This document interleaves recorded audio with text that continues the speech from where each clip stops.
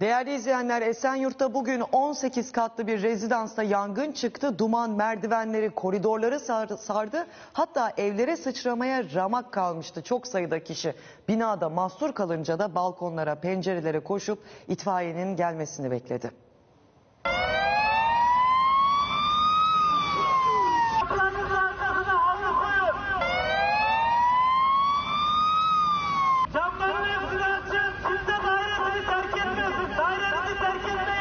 Etmeyin. D blokta cam pazarı kuruldu. 18 katlı rezidansta yangın çıktı.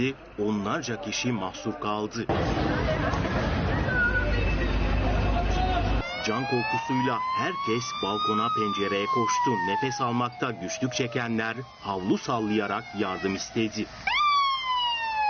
İtfaiye kırmızı alarm verdi. Hem Türkçe hem de yabancı uyruklular için anonslar yapıldı. Kapılarınızın arkasına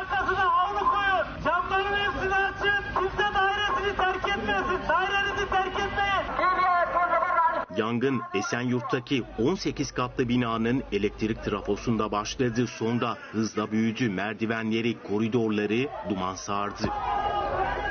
Şanslı olanlar kaçıp canını kurtardı. Geride kalanlar için gözyaşları döktüler çünkü onlarca kişi evinden çıkamadı, mahsur kaldı. İtfaiye ekipleri tarafından kurtarıldılar.